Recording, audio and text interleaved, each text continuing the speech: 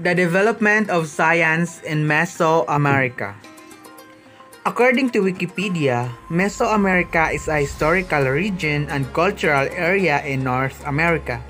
It extends from approximately central Mexico through Belize, Guatemala, El Salvador, Honduras, Nicaragua, and northern Costa Rica.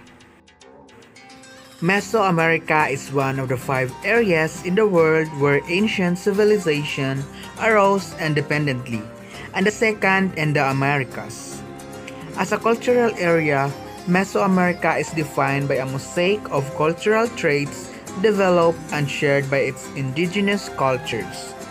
In this period, village began to become socially stratified and developed into chiefdoms. So, how did Mesoamerica develop? The founding culture of Mesoamerica appeared along the southwestern curve of the Gulf of Mexico, near the present city of Veracruz.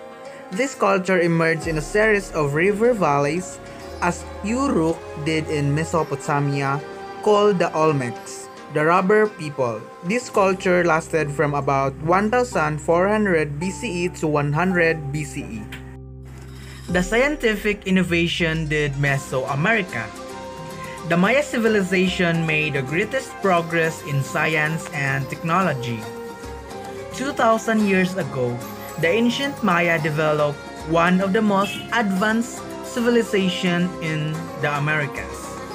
They developed a written language of hieroglyphs and invented the mathematical concept of zero with their expertise in astronomy and mathematics and also the Maya developed a complex and accurate calendar system.